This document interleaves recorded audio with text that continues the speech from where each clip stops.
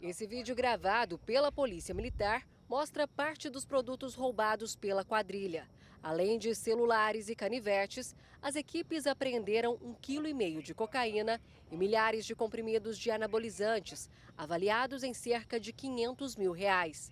Todo o material estava em um ônibus que saiu do Paraguai em direção a Goiânia com 12 passageiros. Os criminosos usaram uniformes da Polícia Civil para abordar o veículo. O veículo estava transitando pela BR-53, eles passavam com o carro do lado e mandavam vestidos de policiais civis, mandavam o motorista parar o ônibus. Depois que o ônibus parou, eles entravam no, no, no, no veículo e anunciavam, anunciavam o roubo. Foi o motorista do ônibus quem procurou a polícia para denunciar o roubo. Ele disse que reconheceu, inclusive, os mesmos autores como um, uh, três daqueles que haviam assaltado ele por três vezes esse ano. Os assaltos costumam acontecer antes do sol raiar.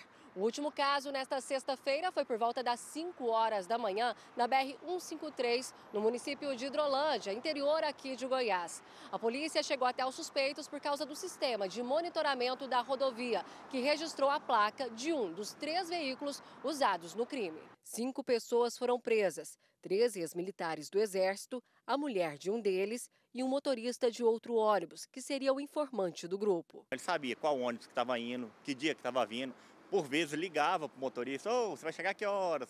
Para tomar uma cerveja.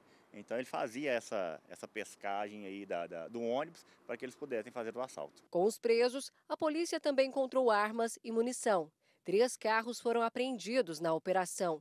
Além dos assaltantes, os passageiros serão investigados.